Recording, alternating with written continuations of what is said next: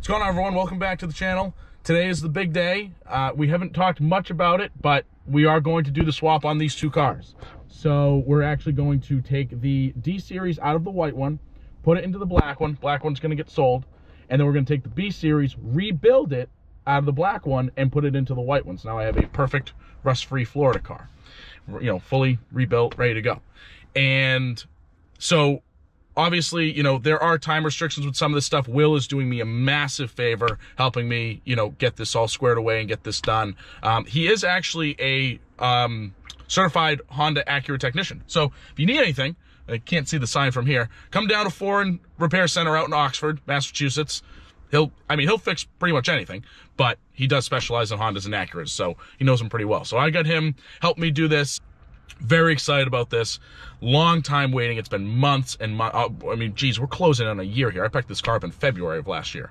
So I know you guys don't know all that because there's been a little bit of gap in videos, but this is pretty big. So we're going to get all this squared away. He started yesterday. He got a decent amount done just because, like I said, we're on time restrictions. We want to get this done as quick as we can, but still, you know, be able to get some content out there for all you guys because it's, I think it's going to be pretty cool. I've never done an engine rebuild. I've never done an engine swap. I've never done anything like that. So this is very exciting to me to actually be able to, you know, do get get involved with this and have it be my own car and drive it for a long time because I love this car. That's the reason I went out and decided to do this. I love the car so much. I wanted to make sure I could kind of hold on to it in a way. So let's go ahead and get in there and get started. All right, so we're gonna get ready to pull this thing out. Everything's all mounted up. As you can see, Will got quite a bit accomplished yesterday. And uh, we're gonna get this thing out of here. And uh, yeah, that's really, that's really about it. We're still waiting on Dex. Kid is always late, but it's all right. Extra hands are helpful anyway. So. Trick is, don't break anything on the firewall. yeah, I would probably assume that. Yeah. I'm getting a little greedy. I usually take the crank pulley off, but I think it's gonna get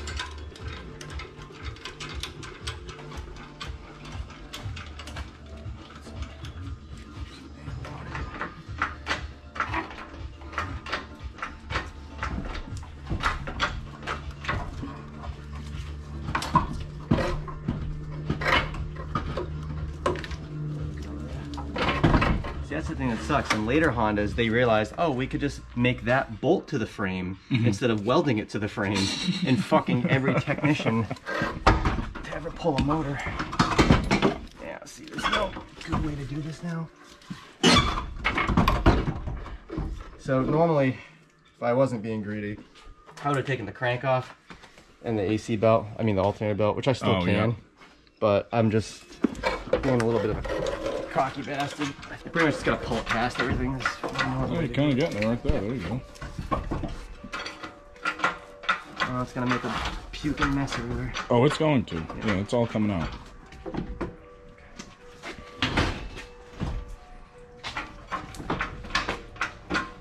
See, this is why the Honda hoods, they have this spot. So you have to take the hood off. and pull the Oh, there you go. Yeah, I love that. People used to always joke too, well, if Hondas are so reliable, then why is it the first chapter in the service manual is how to remove the engine? That's, that's a fact. For chapter one, engine removal. Just because they know that dudes are gonna be swapping, that's all. That's right. Alright, if you want to stay there would be wonderful. Alright, it's pretty much all over now.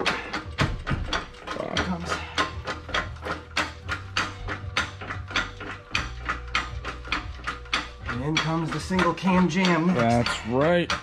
Single jingle. There it is. Look at that. Out and ready to be done. Your first engine swap. First engine swap. So a couple little fun facts about this D-Series while we're waiting for Will to finish that up. This is a single cam, non-VTEC, and it does not have power steering. This car's a 93. Probably Uh, about how much horsepower it has too. yeah, probably about how much horsepower it has. So, you know, it's a good engine. It's a strong engine, and it runs fantastic. It actually has very similar miles to the black one, but you know, obviously, if we can extract a little extra horsepower out of this thing and put it in this one and still be able to enjoy the engine without, you know, having any rust or anything like that, that's ideal.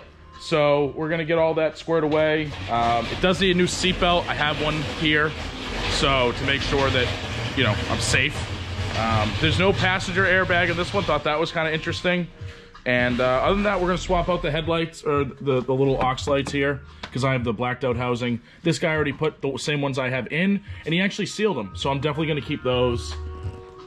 But other than that, that's pretty much it. It's, it's gross. It's been sitting at Max's for six months, seven, eight, eight months, something like that. It will definitely need a paint job at some point. And but a good washing, and it's a it's a 10 footer all day. It, it doesn't look that bad. It just needs a little bit of work. But this bumper's cracked over here from the paint.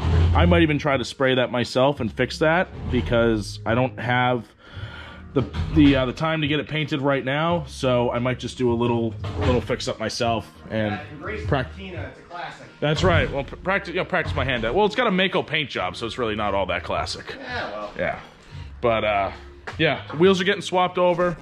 Um, person who takes over the black Honda, brand new tires. You know they're they're in real good shape. Wheels are in great shape too.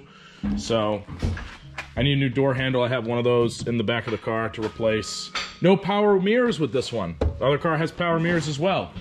I'm gonna miss that. I like that because when I go to back up parallel park, I can see what I'm doing. Will tells me I'm crazy, but it's nice to have. Um, suspension, Amazon special, but rides really soft and comfy. So gonna leave the suspension in that one, and I think we'll be fine. So yeah, let's keep working at it. I'm, this is this is coming along good so far, but we got a lot of work to do. We got to dismount the transmission from the engine, uh, so we can put it on the stand, and Will can actually we can start to take it apart and get out to the machines this week. All right, so we're gonna get away from the noise for a bit. We were just intrigued by this. This is the original clutch. This is the original factory clutch from 1994. It's got 235,000 miles on it, and it's honestly not that bad. Transmission's actually in like pretty decent shape. It will need a rebuild eventually, um, but it's I'm gonna put an LSD into it, I think, uh, just because it makes sense to do one. But as far as the rest of it goes, I mean, look at this. Oh, nope, it's gone already. Took the fly off. Took the flywheel off. Flywheel over here. I mean, thing's in decent shape. So we're gonna we, we don't need these anymore. We're gonna junk them, but thought you guys might like to see that. I think it's pretty cool how good a shape this is in. But like Will said, it doesn't make any torque as long as you're not city driving it. Still, I think that's pretty cool. All right, quick update. We got the uh, you can't see them. Headlights are out. The little aux lights over here. Uh, engine, like we said, completely out. Uh, we got the shifter linkage out over here, so that's all set. Um, Will's working on getting this engine ready to pull out of the white one. Dex is getting the uh, cherry picker ready to go, and we actually also got the computer out as well, so we're to be able to transfer everything over. So yeah, we're doing pretty well over here. Just you know, like I said, just a little update, keep you guys informed. Uh, things are going somewhat smoothly. We got the exhaust off as well, both exhausts off. Uh, and just to show you what happened, this one wound up just breaking right off. So, um, I mean, hey, you buy cheap parts, you get cheap quality. That's how it works. So, but we were able. I'm to salvage this exhaust. This one's in good shape, uh, and, it, and it sounds a lot better. Why would you not? So we should be in pretty good shape. This one came off, no problem. But B series out, ready to go. Whew. All right, we'll catch up with you in a minute. And uh, actually, we're gonna get wheels off too eventually. Get those swapped over. All right, little update before lunch. Uh, D series is out. It is over here. We're gonna be dropping it in this bed, Larry.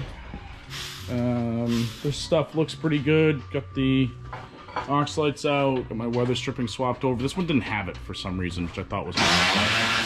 You know, who knows what people do with these things before we pick them up. So, doing decently right now. Everything's moving along okay.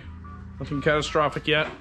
Um, this transmission a little bit smaller, so obviously we had just, you know we're not going to swap anything over. So, um, built to handle less power. It's going to go on a smaller engine, but as of right now, moving good. Things are things are good, and we're gonna we're gonna move on to lunch. So catch up in a sec. All right. Uh, Jeez, guys, friend. kidding. Uh, definitely gonna be a little bit of a gap in some stuff here, but the engine, is pretty much into the old black car. Um, we've got. I put the aux lights back onto this one. Get the muffler mounted up. Exhaust is back onto this one. Um, you know, just really trying to wrap this up, like get as much done as we can right now. So it's kind of cutting into the filming a little bit because there's only three of us and we're all doing something. Um, but it's coming along really well. we are gonna have to swap wiring harnesses because it's gonna be too much work to pull the VTEC harness out of this, the black one, and put it into the white one. So we're gonna have to do some crazy stuff to get it done. Um, but it's not a big deal. We'll get it done. The black one should be up and running today though, which is awesome because that means I can get it onto the market and get it sold um, and get it out of here, you know, and just maybe somebody can at least get a couple of good weeks out of it before the weather gets too crappy. So that's kind of what I'm hoping for. Um, but yeah, I'm gonna swap everything back on. There's that stupid muffler again. God, I hate that thing. But all right, yeah, I'm gonna get back to it. Quick little back under this one. Just we, I, I didn't notice this before. We got a big dent in the gas tank. Don't know who did that. Wasn't me. Um, but you guys, yeah, I mean, look how clean this thing is, huh? It's beautiful. It's absolutely stunning. Everything looks so good. I know we've been under this before. I know, just in the last video, but I mean, geez, it just looks so good, and I can't wait. I absolutely cannot wait to get this thing on the road because I've never really got to actually drive the black one hard because I was always afraid like keep it in the RPMs all day the drives that we do like I don't want to be too high in the RPMs for just hours on end like it's an old engine it's got 250 you know 20,000 miles on it and I don't want to do that so I'm very excited to have this thing rebuilt and actually get to like really drive it as it was intended because I know it's going to be a blast I know those roads are perfect for this car and it's just going to be awesome so um, and we got a little extra power modification coming in the spring, but we'll let you wait for that one. So, all right, let's get back to it. Another quick update. Uh, we threw some wheels on just because we can. And uh, definitely Everybody's looks, watching this. I'm being held against my will. I'm being I'm being worked to death like a slave. Somebody rescue me.